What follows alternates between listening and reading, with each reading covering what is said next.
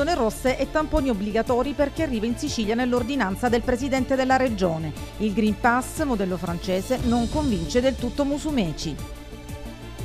Ipotesi di zona gialla per la Sicilia. Confcommercio Palermo. Obiettivo indispensabile raggiungere l'immunità di gregge. Certamente gli imprenditori non saranno disposti a pagare ancora il conto per tutti.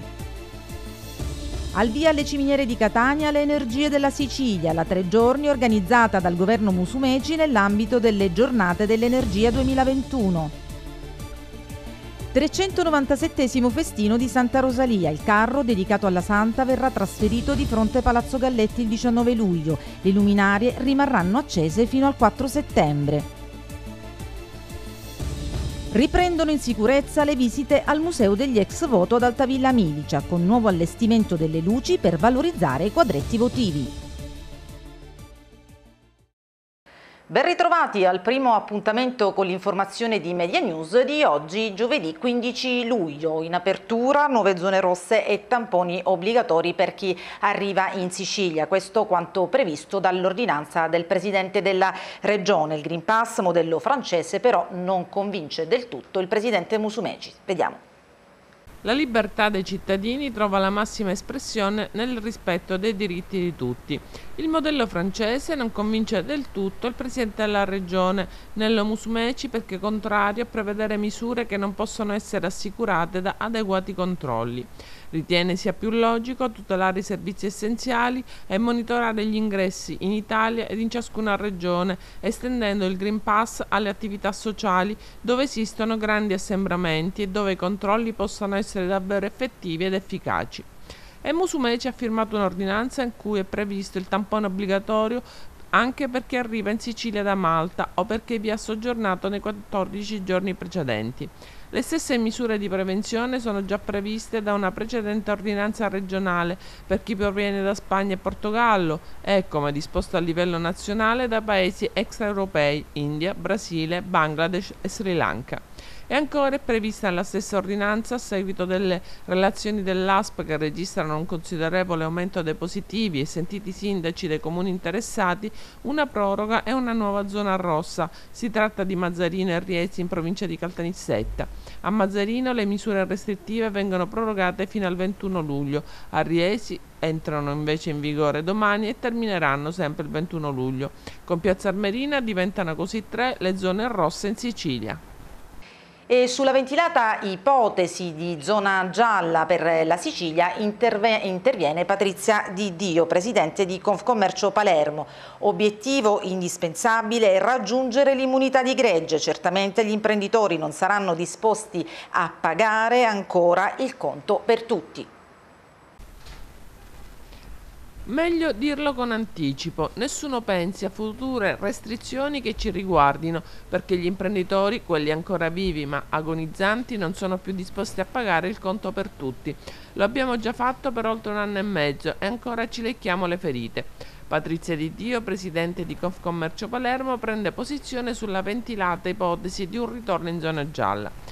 Le istituzioni, prosegue, hanno il dovere di pensare con urgenza a qualsiasi soluzione per raggiungere l'immunità di gregge, accelerare la campagna di vaccinazione e intensificare i controlli contro gli assembramenti, come in particolare quelli negli aeroporti, porti e stazioni, che ci risultano essere deficitari, per non parlare degli episodi di vita notturna fuori da ogni regola. Sappiamo che si sta facendo molto, ma purtroppo potrebbe non essere sufficiente. Non è accettabile questa ineluttabile area di rassegnazione di fronte agli accenni di restrizioni, anche perché il tasso di ospedalizzazione è ancora al minimo, un dato forse non adeguatamente sottolineato. Chi solo ipotizza un ritorno in zona gialla o è folle o è in malafede e vuole trovare una scusa per nascondere interessi e bulimia di potere. Confcommercio Palermo, prosegue la di Dio, si sta anche impegnando in una campagna di sensibilizzazione per la vaccinazione per i propri associati e le migliaia di dipendenti. Noi continueremo a fare la nostra parte con senso di responsabilità per convincere gli indecisi, gli indolenti e gli irresponsabili ad assumere comportamenti rispettosi della collettività e del bene comune. Serve impegno e responsabilità, non possiamo solo sperare che Santa Rosalia con un nuovo miracolo ci liberi dalla peste dei nostri nostri giorni, ma la fede non basterà se non sarà supportata da comportamenti illuminati e responsabili. Droga operazione della Guardia di Finanza a Catania, sequestrati 37 kg di marijuana, arrestati due uomini colti in flagrante. Doppia operazione della Guardia di Finanza a Catania. In un primo intervento i militari delle Fiamme Gialle del Nucleo di Polizia Economico-Finanziaria e della Compagnia Pronto Impiego hanno bloccato un corriere di 43 anni che aveva in auto 13 kg di marijuana ad alto potenziale stupefacente contenuti in 11 buste sottovuoto occultate nel vano della vettura. L'avvio delle operazioni di controllo con la richiesta dei documenti identificativi ha fin da subito determinato la reazione nervosa dell'uomo, cosa che ha indotto i militari ad approfondire le ricerche. Dopo un controllo accurato, gli uomini delle Fiamme Gialle hanno rinvenuto e sequestrato 37 kg di marijuana di tipo amnesia e arrestato il corriere. Più articolato il secondo controllo che ha riguardato gli appartamenti nella disponibilità di un uomo di 33 anni, anch'egli di Catania, sorpreso in più occasioni ad uscire in orari notturni con grossi involucri da una palazzina in centro città. Le relative attività di perquisizione hanno portato al ritrovamento di 24 kg di marijuana, anche in questo caso di tipo amnesia, e oltre 150 munizioni e materiale per il confezionamento dello stupefacente. In entrambi i casi i due uomini sono stati arrestati in flagranza di reato per traffico e detenzione ai fini di spaccio di sostanza stupefacente. L'arresto dei due responsabili su richiesta della Procura della Repubblica di Catania è stato convalidato dal giudice per le indagini preliminari presso il locale tribunale.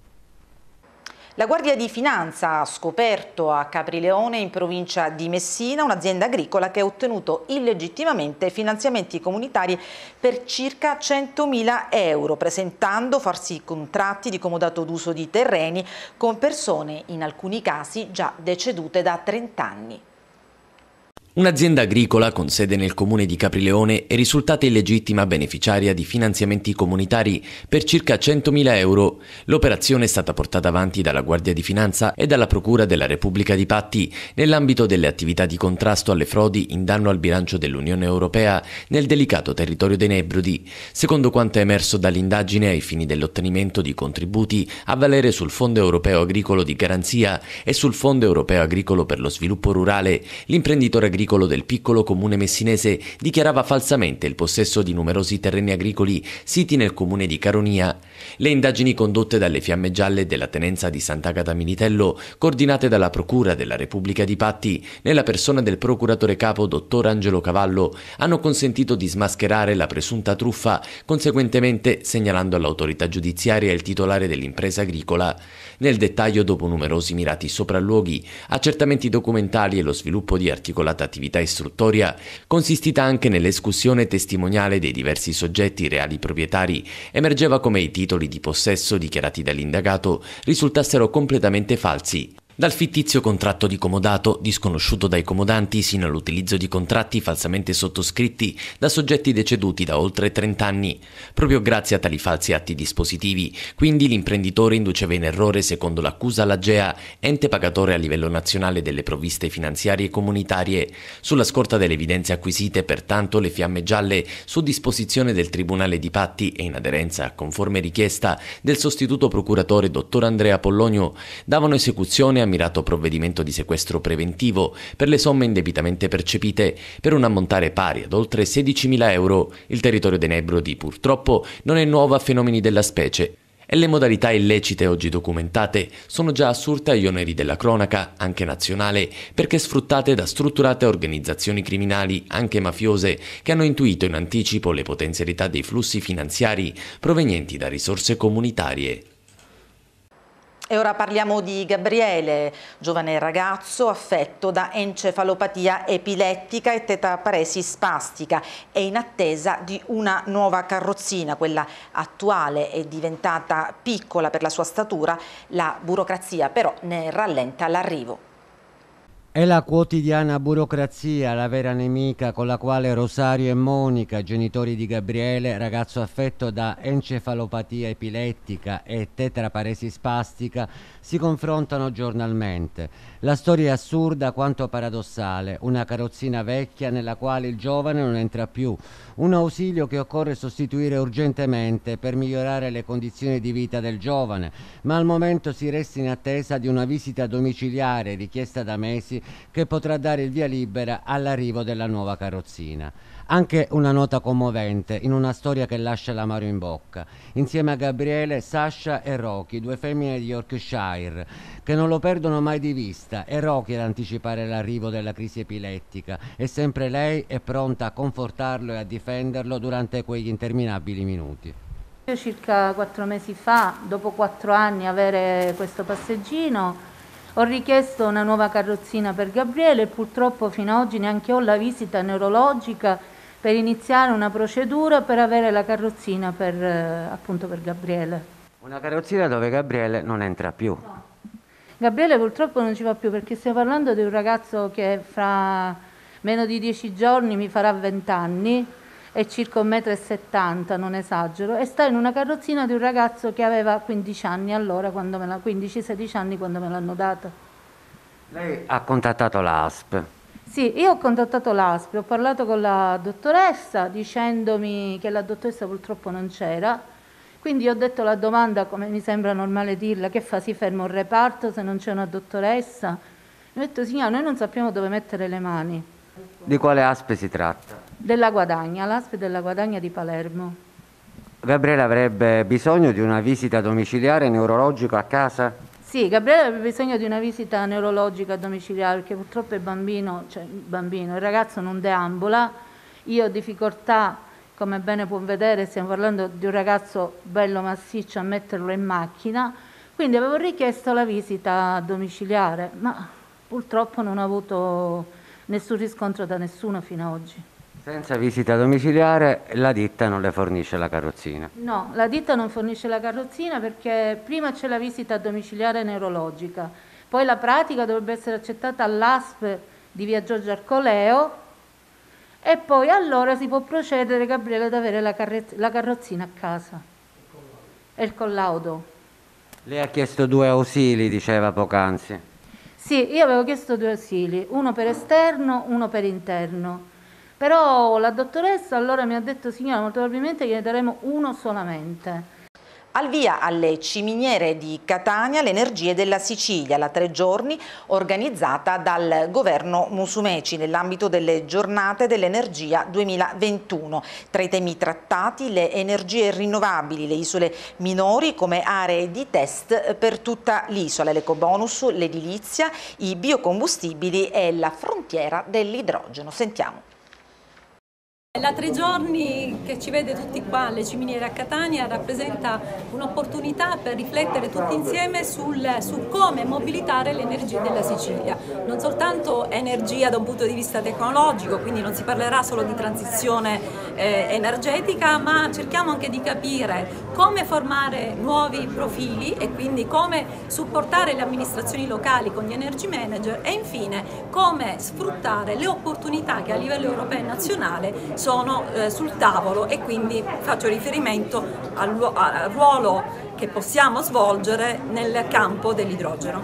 Un evento molto importante che assume anche una valenza simbolica poiché questo rappresenta il primo evento fieristico post-Covid e quindi sancisce la graduale ripartenza dopo questa maledetta pandemia nella speranza che il Covid-19 possa smettere di sortire questi effetti nefasti. Un evento altrettanto importante perché permette di approfondire alcune tematiche di eccezionale valenza su cui si registra una crescente sensibilità sul tema della sostenibilità ambientale, sul tema anche dell'economia circolare, sul tema della mobilità sostenibile, dando anche l'opportunità agli operatori del settore pubblici e privati di capitalizzare le ingenti risorse regionali, nazionali ed europee messe a disposizione su queste tematiche. Quindi complimenti affettuosi alla Regione Siciliana, al Presidente Busumeci, all'assessore Baglieri e a tutti coloro i quali hanno reso possibile tutto ciò.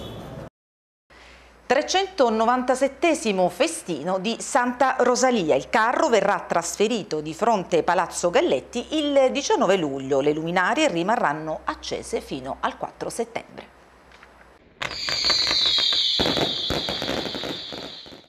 Il carro trionfale di Santa Rosalia lascerà i quattro canti di Palermo il 19 luglio, giorno in seguito al quale troverà la sua collocazione definitiva di fronte Palazzo Galletti in Piazza Marina. La struttura restaurata di recente da 35 maestranze sotto la guida dello scenografo Fabrizio Lupo era stata costruita nel 2019 in occasione del 395 festino dai detenuti del Lucciardone alta 11 metri e dal peso di 9.000 kg, è stata restaurata su progetto della VM Agency Group di Vincenzo Montanelli in accordo con l'amministrazione comunale. Vista la grande presenza di pubblico e l'attenzione che gli stessi hanno rivolto al carro e alle luminarie lungo tutto il Cassaro, abbiamo condiviso con il sindaco Leoluca Orlando lo spostamento del carro a lunedì 19 luglio, spiega Montanelli. È un momento particolare dove gli eventi non hanno un posto e gli spettacoli non hanno spazio, ma l'unica vera attrazione dei palermitani rimane il carro trionfale di Santa Rosalia. Siamo soddisfatti della risposta del pubblico per le tante attestazioni di stima che ci sono pervenute ed è per tale motivo che non abbiamo esitato nel prendere una decisione che ci prolunga questo momento di distensione. Per il sindaco di Palermo Leoluca Orlando si tratta di un'iniziativa importante che rafforza il profondo legame della città con Santa Rosalia. Viviamo una devozione sostenibile in linea con i tempi difficili che affrontiamo ma ugualmente profonda.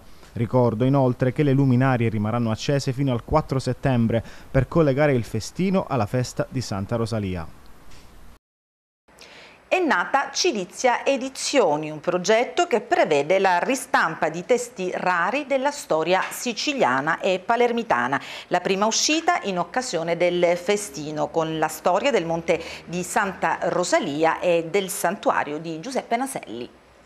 L'occasione del festino ci dà la possibilità di presentare questa nuova idea editoriale che è nata da me, sono Francesco Ciulla, da Maurizio Zacco e Fabio De Gangi che sono due librai del, dell'antico Cassaro, oggi via Vittorio Emanuele.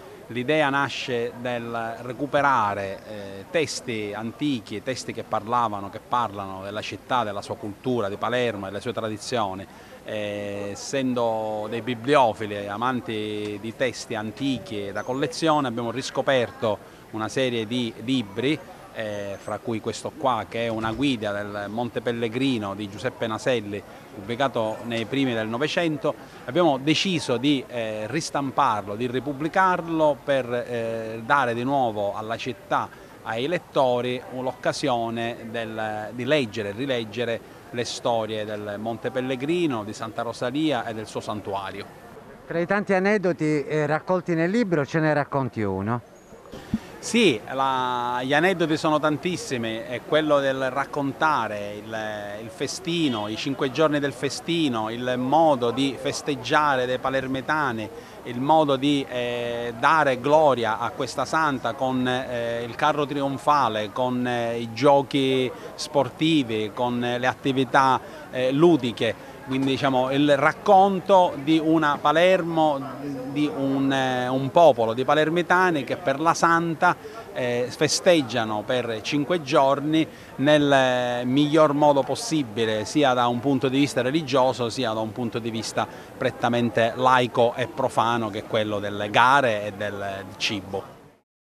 Rendere la Messina Social City una realtà ancora più solida è il messaggio della CISL Funzione Pubblica lanciato nel corso eh, dell'Assemblea unitaria del personale della società partecipata che si è tenuta nel Salone delle Bandiere di Palazzo Zanca a Messina. Noi sentiamo l'esigenza che la Messina Social City oggi finalmente guardi al futuro diventando sempre più diciamo, vicino a quella che è l'assistenza, la capacità di dare risposte ai cittadini e alla cittadinanza con sempre maggiori competenze e professionalità.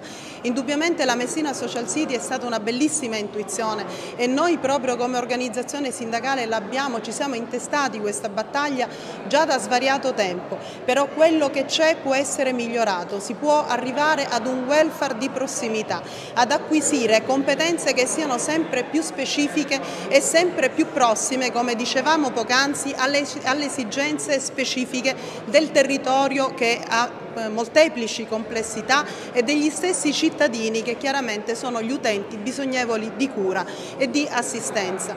Naturalmente tutto ciò comporta una programmazione seria e attenta sia di quella che è l'attività sia delle implementazioni delle dotazioni organiche attraverso procedure di stabilizzazione, un piano sicuramente aziendale del fabbisogno triennale che possa essere ancora più competitivo di quello che è stato in passato, che dia davvero davvero le risposte che si attendono i cittadini e la comunità e che chiaramente sia sempre più proteso ad ottenere quelle che sono le competenze e le professionalità del settore richieste. Dicevamo e ribadisco l'importanza di occuparsi delle singole zone, del territorio, perché il territorio di Messina e sicuramente della provincia è certamente un territorio molto complesso, molto eh, problematico, quindi bisogna appropinquarsi a quelle che sono le singole realtà dei territori e questo lo possiamo ottenere attraverso, appunto, come dicevamo, una programmazione che guardi all'implementazione della dotazione organica, quindi ancora più risorse umane da impegnare nei vari settori, nelle varie specificità. E riprendono in sicurezza le visite al Museo degli ex voto di Altavilla Milicia, con nuovo allestimento delle luci per valorizzare i quadretti votivi. Ripartono ad Altavilla le visite al Museo degli Ex Voto in sicurezza, nel rispetto delle regole anti-Covid e con una nuova illuminotecnica che tende a valorizzare sempre di più i quadretti votivi. E a partire da giugno abbiamo avuto una serie di visitatori che non sono stati semplici pellegrini o i gruppi religiosi che arrivano il sabato e la domenica, ma tantissime scolaresche locali. Abbiamo avuto a fine giugno eh, nell'ambito diciamo, eh, di questi progetti che le scuole hanno portato avanti, del piano scuola estate, eh, ci sono una serie di scolaresche scolaresche eh, che si trovano nel territorio e che giornalmente vengono a visitare il Museo degli Ex Voto. Le visite sono gratuite, sono in sicurezza e mh, basta semplicemente prenotare alla segreteria del santuario. È una vacanza studio organizzata da Heritage e stanno svolgendo attività in lingua inglese incentrate proprio sul miglioramento delle loro competenze linguistiche. Svolgono attività anche riguardanti eh, la promozione del territorio, ecco perché stiamo visitando, abbiamo già visitato Palermo, hanno visitato molti diversi musei, oggi siamo proprio qui e mh, le attività delle le attività didattiche del campo riguardano anche la conoscenza e l'approfondimento del significato di questi luoghi, della ricchezza culturale di questi luoghi. L'esperienza in Sicilia è fantastica, mi trovo realmente in questo momento in un angolo del paradiso e quindi io lo consiglio, bisogna promozionare le nostre bellezze e soprattutto la Sicilia. Io mi trovo con ragazzi per la vacanza studio eh, qui del, che vengono da Verona dell'Heritage e hanno coniato anche un bellissimo slogan Come and see Sicily l'hanno detto proprio i ragazzi veramente è bello venire a vedere la Sicilia questi posti meravigliosi. Eh, abbiamo avuto un'ottima organizzazione quindi serialmente ci troviamo bene perché dietro c'è un lavoro ben preciso di, per, di professionisti e ora cambiamo argomento, una vacanza green e sostenibile in uno dei posti più tranquilli di Sicilia. Avola per valorizzare il territorio e ripartire si promuove dopo il lungo periodo di fermo. Avola è mare, tradizione e cultura. In questi anni abbiamo lavorato molto sulla valorizzazione della nostra città e lo abbiamo fatto iniziando proprio dalla risorsa straordinaria che è il mare, un nostro litorale che è lungo, fruibile da tutti, spiagge eh, dorate e soprattutto sicure. Quindi. Siamo pronti ad ospitare tutti i turisti e viaggiatori che sceglieranno Avola come meta per le loro vacanze. E qui eh, nella splendida perla dello Ionio potranno trovare eh, lo, lo un'ospitalità che è tipica di noi siciliani, un'accoglienza calorosa che farà sentire il turista a casa e coccolato sotto tutti i punti di vista. Ma Avola non è solo questo, Avola è arte, storia e cultura. Il nostro centro storico, caratterizzato dalla pianta esagonale, è un vero e proprio salotto all'aperto della città, all'interno del quale è possibile visitare eh, i palazzi mm, come il Palazzo di Città con i suoi giardini, il Teatro Garibaldi che fu intitolato nel 1882 all'eroe dei due mondi e che oggi è diventato un centro eh, culturale importantissimo, eh, con una stagione teatrale sempre viva durante tutto l'anno e con tutta una serie di eventi correlati. Ad Avola ne abbiamo quindi per, per tutti i gusti, noi siamo pronti e vi aspettiamo. La nostra area attrezzata mette a disposizione dei turisti eh, i servizi. Nostra, eh, il nostro motto è la natura servita. Natura servita perché riteniamo che ci siano dei servizi essenziali di cui le persone devono necessariamente godere.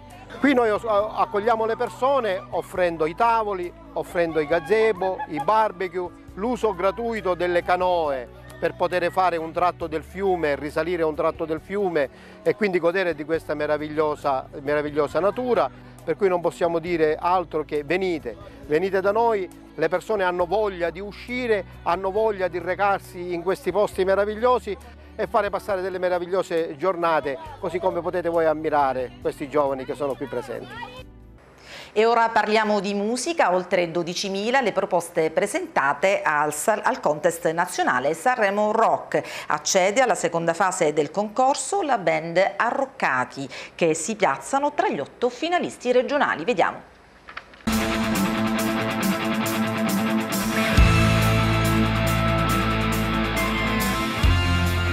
Gli Arroccati, la band siciliana capitanata dal cantante e compositore Fabrizio Laudicina, sono tra gli otto finalisti regionali di Sanremo Rock, il contest nazionale nato come costola del più noto festival della canzone italiana diventato oggi un brand storico. Il brano con cui accedono alla seconda fase della selezione lasciandosi alle spalle oltre 12.000 altre proposte si chiama Vivi ed è un'esortazione alla prudenza stradale in chiave pop. A proposito del brano, diciamo che una cosa che ci caratterizza è proprio il nostro suono, il nostro sound, perché non è qualcosa che magari si può riconoscere come può essere il rock, il blues, un genere già ben definito, è un genere come noi lo chiamiamo arroccato, perché è l'insieme di tutti, diciamo, tutte le influenze che ognuno di noi ha, che vanno diciamo, dal caso mio per il rock classico, quello di Fabrizio lo swing, il pop, eh, più sonorità anche di, degli anni 80, anni 90 da parte del tasserista e del bassista e, e, poi anche da parte di Alessio che comunque è il più giovane quindi ha delle influenze più, più recenti. Noi al momento comunque siamo impegnati perché stiamo lavorando tantissimo nella produzione di nuovi brani perché è nostra intenzione completare un album. Eh, e portare avanti la nostra musica perché ci siamo innamorati tantissimo eh, di, di, questa, di, questa, di, questa, situazione, di questa dimensione musicale nuova eh, che ci vede più eh, chiusi in sala prove rispetto a, al dover stare magari in giro per adesso nei locali col pubblico che è una cosa per carità che ci gasa e, e che amiamo tantissimo ma che eh, diciamo rimandiamo a quando avremo l'album pronto. Vivi, vivi questa vita bene fino in fondo ora. Non mi spiego come sia finita in un secondo. Mauro Labita, maestro di Krav Maga, disciplina di autodifesa, è il primo siciliano ad ottenere la qualifica di National Expert per questa disciplina. Sentiamo l'intervista. Krav Maga è una disciplina di combattimento eh, basata su eh, tecniche semplici, istintive, eh, ma che sono estremamente risolutive in caso di aggressioni di vario genere, armato, a mano nuda, eh, a sorpresa, multiplo. E, ehm, e, questo è un riconoscimento, dicevo, che viene dopo un percorso di addestramento, di tante specializzazioni e che sono fiero di portare giù in Sicilia. Si sta diffondendo molto rapidamente perché si è riconosciuta come realmente efficace e sono l'unico siciliano ad aver raggiunto questo, questo, traguardo. Non è facile perché il Krav per quanto sia eh, immediato, istintivo e quindi di semplice apprendimento, però eh, conoscerlo a 360 gradi, gestirlo e specializzarsi in eh, tutti i vari microsettori che, si, che ci sono all'interno di un combattimento reale è un percorso lungo, pieno pieno di sacrifici, di veramente eh, di, tanto, di tanto lavoro e di grande dedizione nei confronti dei propri maestri che ringrazio quotidianamente. E ora passiamo alle notizie sul calcio. Primi movimenti nel mercato in entrata per l'attacco del Palermo che prosegue il lavoro atletico in vista del ritiro precampionato in Campania. Intanto il club rosanero nomina Antonello Perricone nuovo membro del Consiglio di amministrazione. Vediamo. Per il settore offensivo della prossima stagione inizia a muoversi qualcosa anche nel mercato in entrata. Il Palermo ha praticamente chiuso la trattativa per l'arrivo del classe 97 Edoardo Soleri. Si tratta di una punta acquisita in prestito con diritto di riscatto dal Padova. Nato calcisticamente nella Roma, il nuovo attaccante ha già giocato nelle serie minori di altri campionati come quello spagnolo, olandese o portoghese. Gli ultimi tornei in Italia sono stati quelli disputati con le maglie di Padova e Monopoli. In Serie C ha giocato 48 partite mettendo a segno 6 gol. E intanto il mirino dei Rosanero è finito anche su un attaccante esperto, ovvero Giuseppe Fella. La trattativa sarebbe vicina alla chiusura. Il centravanti nell'ultima stagione era proprio nelle fila dell'Avellino che ha eliminato i Rosanero ai playoff. Fella ha concluso la propria avventura con gli Irpini ed è tornato alla casa madre che è la Salernitana. Nello scacchiere tattico di Giacomo Filippi potrebbe essere schierato da prima o da seconda punta. Novità dal punto di vista societario, il Palermo ha comunicato che dopo le dimissioni di Toni Di Piazza è stato nominato come nuovo consigliere di amministrazione Antonello Perricone, presente negli anni nelle maggiori aziende italiane di comunicazione, trasporti e produzione industriale, con particolare riguardo al mondo dei media a livello nazionale ed internazionale. E intanto, prima della partenza per la Campania, la squadra di Filippi prosegue con il lavoro atletico avviato negli ultimi giorni dopo il raduno del Barbera fra lo Stadio delle Palme, il Parco della Favorita ed il campo del Tennis Club Palermo 2. Continuate a seguire gli aggiornamenti sui nostri profili social. Io vi ringrazio per essere stati con noi, vi do appuntamento alla prossima edizione del Media News e vi auguro buon proseguimento d'ascolto.